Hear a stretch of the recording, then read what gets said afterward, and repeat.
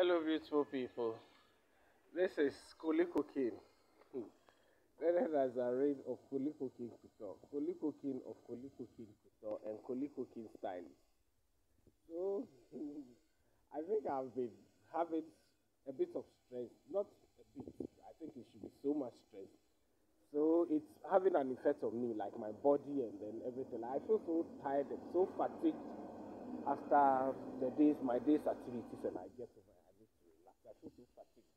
And then I've not really paid much attention, but the stress and all that is translating into something else. i have had a bit of gray in my beard and my mustache and a little bit around my head.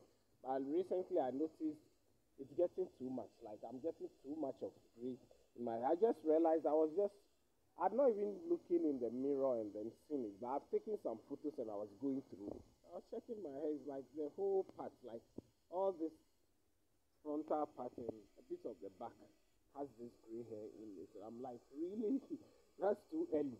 So I realize I'm getting so much stressed up. I'm getting worried about lots of things. I'm overworking myself with my fashion business, and then I have a lot on my mind, and I feel drained, like so drained, so fatigued, so tired, and so like much more like uh, confused and all that. Like very quite worried and having so much to think about, having so much I'm contemplating on, having so much I want to achieve, and the drive and then the the energy with which I'm getting everything done. I realize it's somehow affecting me, and it's translated into me getting so much gray in my hair. Like I, I ask myself that I'm not really up to that age yet where I should be having so much gray. When when we we're growing up, I had a teenage cousin.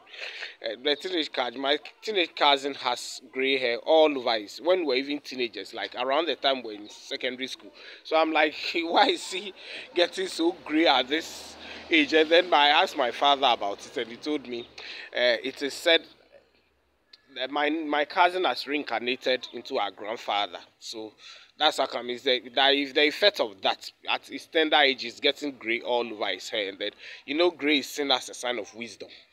And I'm okay with this, but I, I think it's just getting too much. And I realize if I don't get shaved, it comes out more. But it's just become too much because I'm a bit stressed up. I think I should take it easy.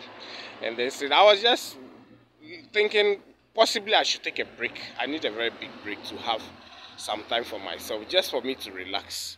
This is Kuli Cooking.